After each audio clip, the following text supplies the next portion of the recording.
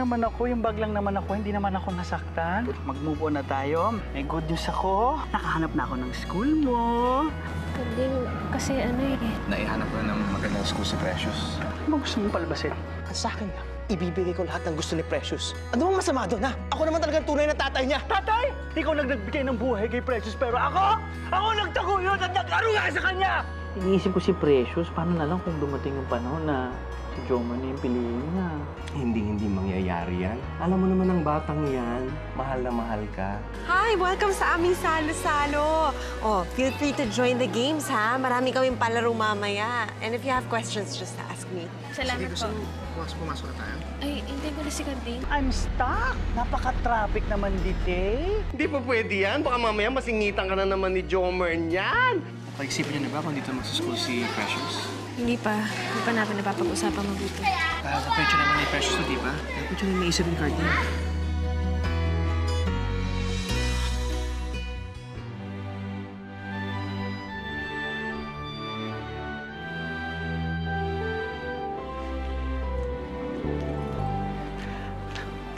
Miss, eh, alam mo ba kung saan dito yung ano, Briton Academy? Naku, doon pa yun. Malayo pa yun dito. Mag-taxi ka na lang. Taxi? Mm-mm.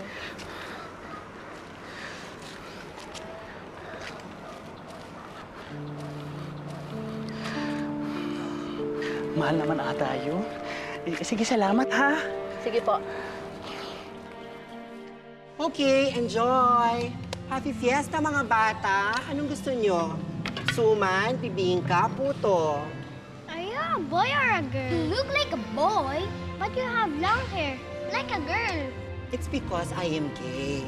I'm a boy with the heart of a girl, and you know what? I feel beautiful with my long hair. You're funny. Weird. I'm confused. Yeah, me too. Huwag na nga siyang pagtawanan. Huwag na siyang pagtawanan sa amin. It's okay, it's okay, baby. You, you just want to eat. They're just joking. They're just playing on joking me. So you want suman? Let's just eat suman, baby. It's okay. It's okay.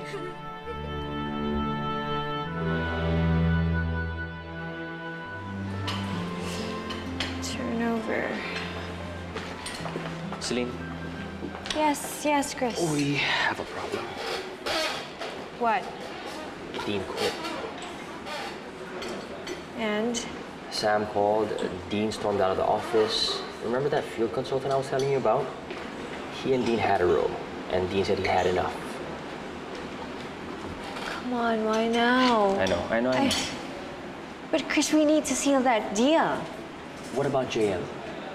I mean, he knows the people involved. He's familiar with the business. I mean, come on. I'd say you could do it, but you look like you need some rest.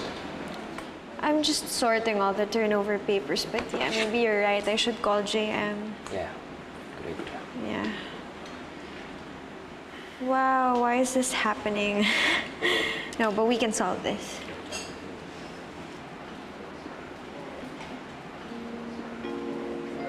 It's not picking up.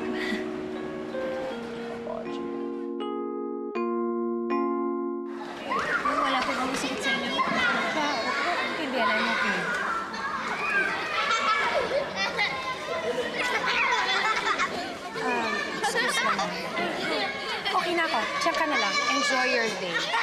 Tawag lang ako.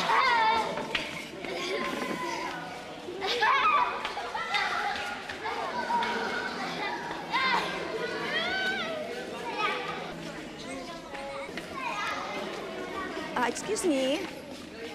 Ikaw siguro ang dad. Yung kinikwento sa akin na teacher Fian. By the way, ay hindi na.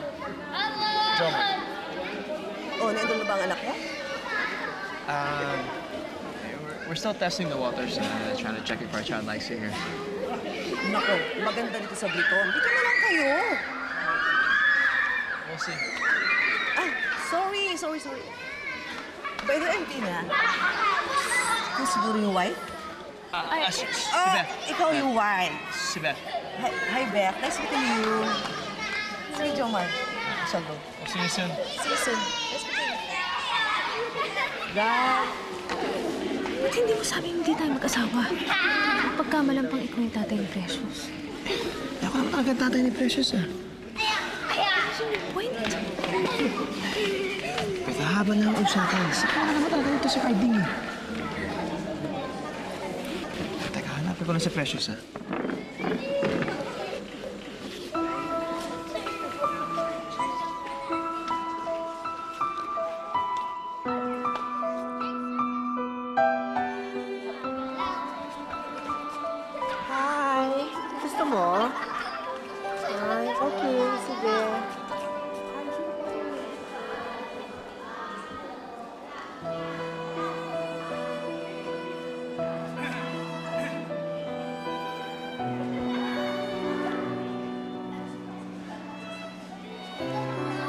Precious? Dading! Ay, naku. Sorry ha, kung na-late si Daddy. Magandang araw po sa lahat. Magsisimula na po ang programa. Para sa una po nating gagawin, tayo po ay maglalaro ng tradisyonal na larong Pinoy.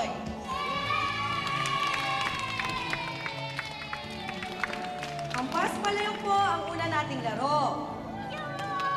Para sa game na ito, tinatawagan ko po ang mga tatay at ang mga bata na gustong sumali. Inuulit ko po, tinatawagan ko po ang mga tatay at ang mga bata na gustong sumali. Halika na po kayo. Laro na po tayo.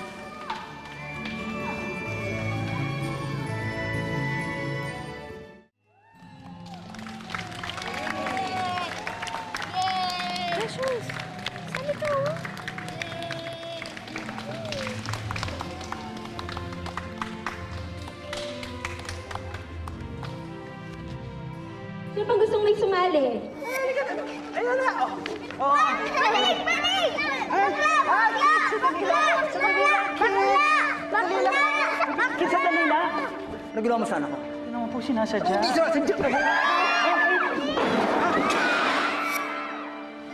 Dading, pwede po ba kaming dalawa po muna ni Ninong Jomer ang maglaro?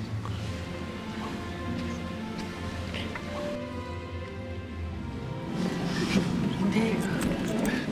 Okay lang, sige. Kainan muna ni Ninong Jomar mo. Sa next game na lang tayo, ha? Sige na, sumali na kayo.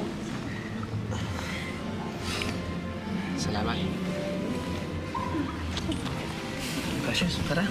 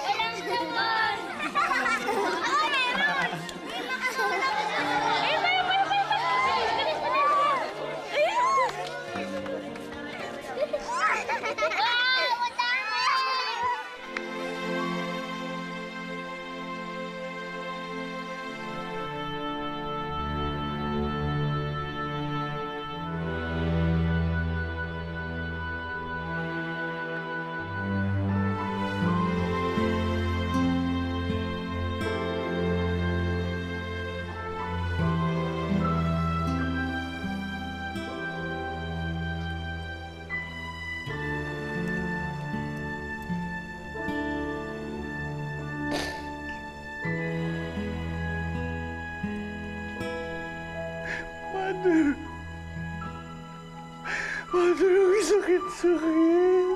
O bakit, Mareski? Parang sasabog ang puso ko. Hindi ko kaya nakikita si Precious kasama si Jomar. Natatakot ako baka mawala sa akin ang anak ko.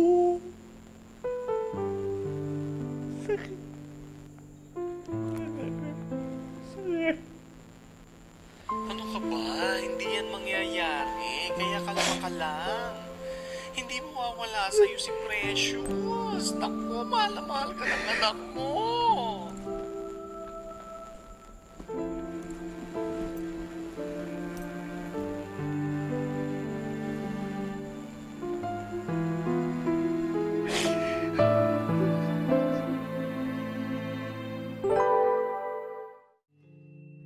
Ang galing mo talaga, Precious.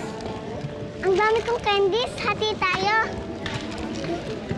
Ako, pwede. Jomer, nakita mo ba si Carlin? Hindi. Ma'am, napansin niyo po ba kung saan napunta si Carlin? Hindi. Oo nga po, Nay. Nasaan po si Dading?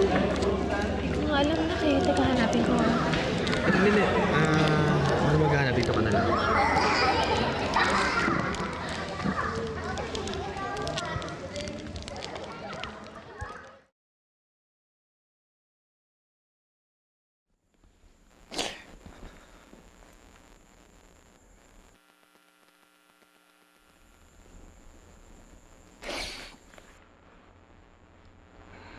Bakit? Anong kailangan mo? Ha? Ah, hinahanap ka na ni Beth. Akala niya ako saan nagpunta eh. May problema ba? Sana wag mo naman masamin yung nangyari kanina. Pasok na ako sa loob.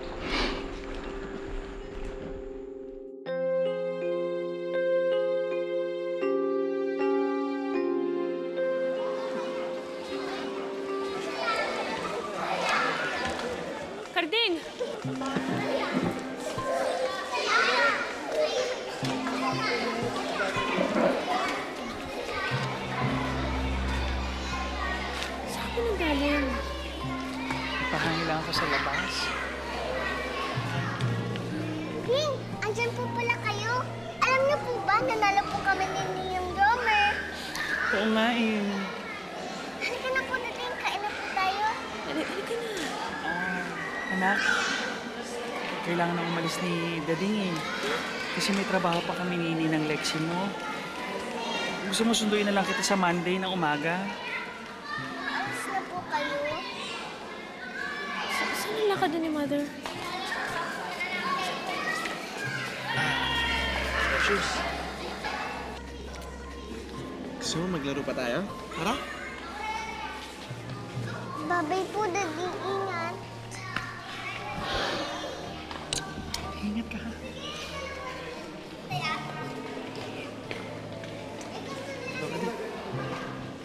Alis na ako, Beth. Karating sandali. Ba't ka aalis ka agad? Kararating mo lang ah. Tsaka inaasahan ni Precious buong araw kayo magkakasama. Huwag mo naman siyang lipuin. Mas importante pa ba yung lakad mo kaysa sa kanya? Pasensya na ha, kasi matagal na namin tinanggap ni Mother Lexi yung racket na yun eh. Hindi na namin may uurong yun. Ang siningit ko nga na yung pagluwas ko dito para mapagbigyan si Precious. Ano naman si Jom? May makakasama naman kayo eh. Sige na, tama na si Precious. Alis na ako ha.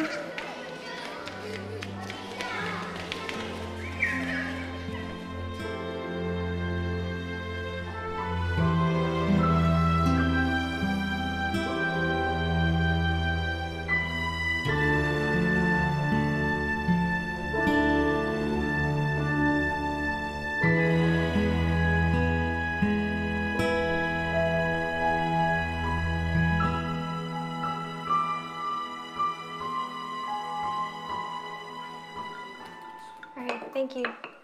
Thank you.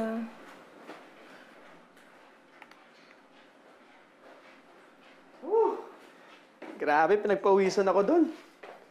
Ano mo ba, ang dami namin sinalihan na games. Totoo lang, parang ngayon na yata ako napagod ng ganun ulit eh. Tapos, ano mo ba, nanalo kami ng hampas palayok. Nakita mo si Precious, enjoy na enjoy eh. Ang saya rin pala yung nakikita mo yung anak mo na sobrang saya, no? Tapos sabi niya, next time, siya naman daw yung papablindfold tapos magpapaturo siya sa akin. What, you can't think about anything else but your daughter? Have you completely forgotten you have a job here? You have a responsibility? The Hudson Project is in trouble. I couldn't even find where you were. What are you doing? Playing what? Parlor games with your daughter? I'm sorry. Stop. But saying sorry, you don't mean anything. I'm gonna take this because you don't understand it anyway.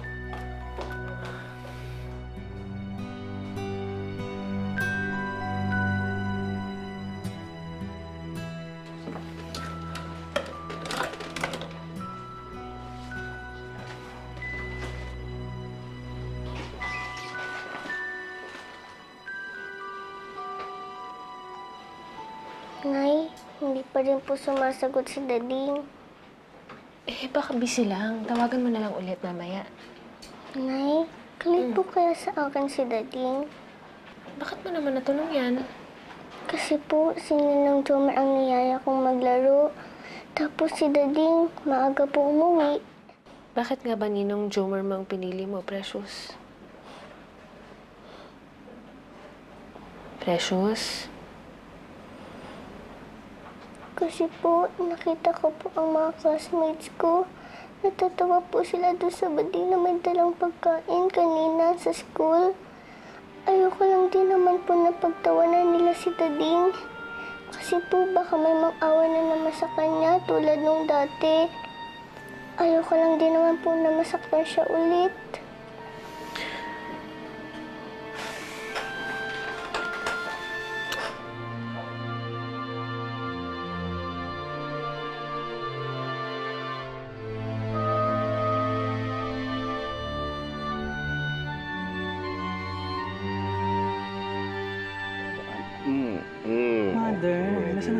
Na nga pala yung mga gamit ko? Yung cellphone ko. Eh, kasi mga ganitong oras, tumatawag sa akin si Precious para mag-good night. Ano ka ba naman? Pwede ba mag-focus ka na muna, Mareski? Kalimutan mo na munang lahat yan. Iba mo muna sa limot, pati yung tatay ng Precious na yan. Mother, kinakabahan talaga ako. Tingin mo, kakayanin ko to. Kaya mo yan. Malakas na malakas ang laban mo, Mareski. Tamo naman, oh. Parang mga napaglipasan lang. Kayang-kaya mo yan. Naniniwala ako sa iyo. Talaga? Oo, basta gawin mo lang lahat ng pinractice natin, Mareski. Kinakabahan talaga ako, Mother. Naku, wag. Alam mo, believe in yourself. Ha? Tamo number na number pa lang, o bumabalyan na. O. Mga bakla, bilisan nyo! Double time! Matulex yung alaga mo, ha? Oo, ready na Sige kami. na go! Double time! Ito na, ito na. Parang Ito na to, ang- Mareski. bumilis ang tibok ng puso ko. Naku, naku. Naku, relax ka lang. Kayang-kaya mo yan. Oh, oh, sige, sige. Oh, oh, hindi. Mag-pray na muna tayo, ha? Bago ka dumiretso doon. Oh, sige. Sige. Lord, tulungan niyo po kami. Bless niyo po kami. Bless niyo po si Mareski. Sana po kahit ngayong gabi lamang na to, gawin niyo po siyang isang ganap na babae. Amen. Kahit po ngayong gabi lang. Oh, ito na yan. Ito na. Naku, naku, naku. Sige, sige. Sige na. Magandang magandang gabi sa inyo lahat mga kabarangay!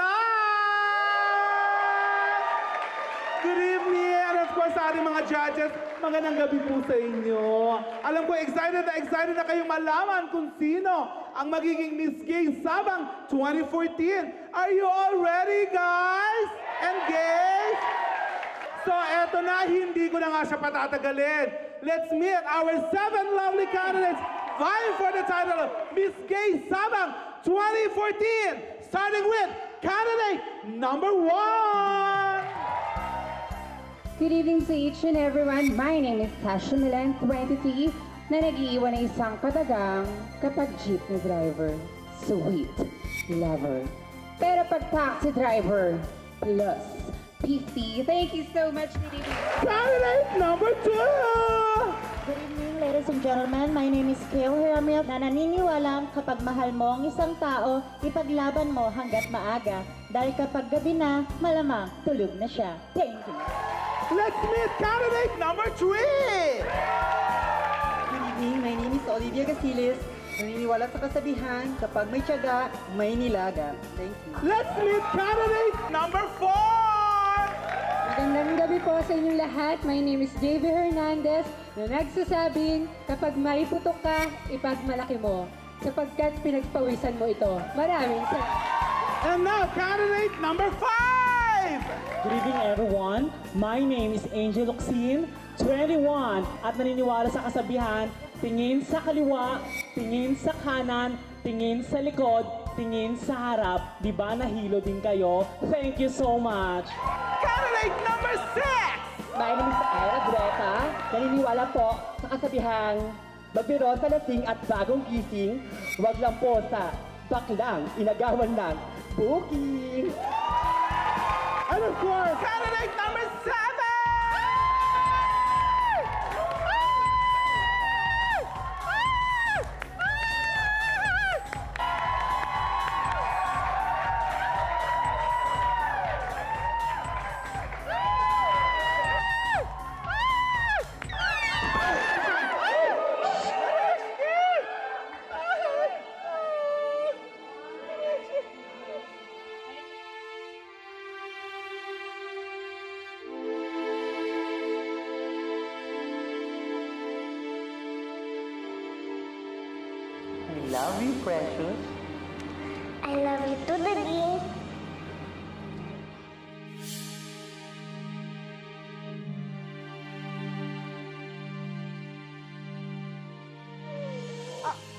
kaibigan, candidate number seven!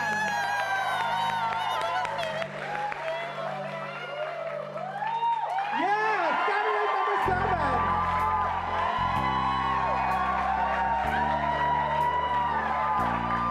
Go, girl!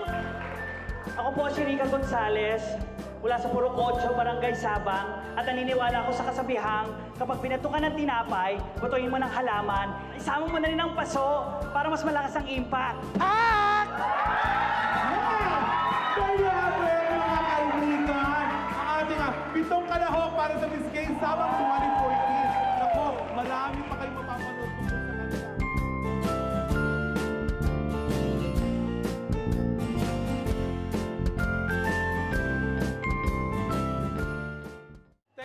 candidate number five.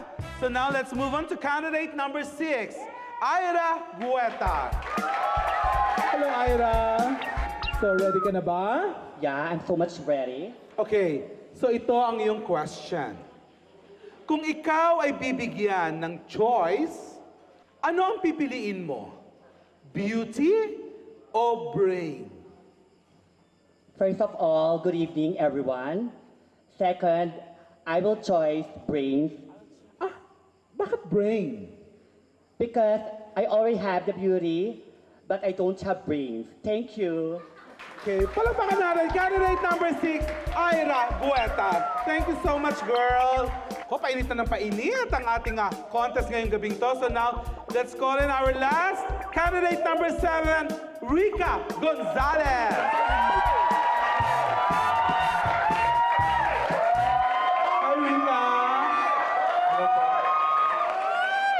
Candidate number seven, here's your question. Bilang bakla, ano sa tingin mo ang greatest achievement mo sa buong buhay mo at bakit? Thank you for the question. Para po sa akin, ang pinakamahalaga na nagawa ko sa buhay ko ay ang maging mabuting ama sa anak ko. Hindi po madali para sa isang bakla tumayong tatay. Marami pong nagsasabi na hindi nararapat maging ama ang isang tao tulad ko dahil bakla ako. Pero hindi na po mahalaga kung anong kasarian ninyo. Ang importante bilang ama ay ang anak ko na pinaka-importanteng tao sa mundo. Nagagawin ang lahat alang-alang lang sa kanya. Marami na po ako pinagsisisihan sa buhay ko. Pero ang pagiging dading ko para sa kanya, taas noo, may pagmamalaki ko. Thank you. Thank you so much, candidate number seven. Um, palakpakan po natin si candidate number seven Pre. for the wonderful. Di ba yun yung manugang mong bading? Mga kaibigan, dyan lang po kayo. Nagsusot din pala ng pambayan. Malalaman na natin kung sino ang pinayagan mo? bilang Miss Gay Sabang 2014. Sa ating mga Board of Judges, maraming salamat po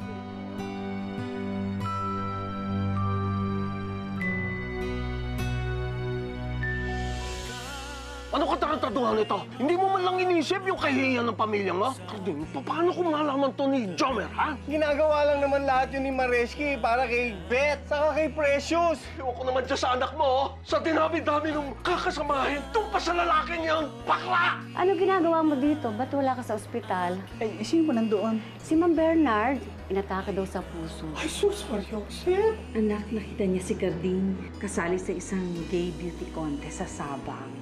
Kasi di mo mali yung ginawa ko.